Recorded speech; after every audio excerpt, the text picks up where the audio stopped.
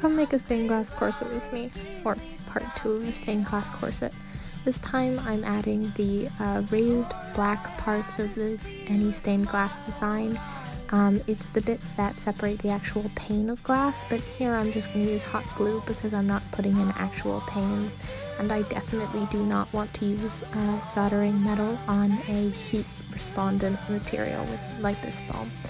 So I'm just going to go ahead and add the hot glue on and then later on I'll go over with Sharpie and paint it black so that you get that authentic stained glass look.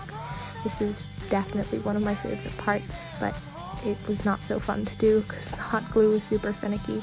But after it was done, I glued it onto the base and this is the look.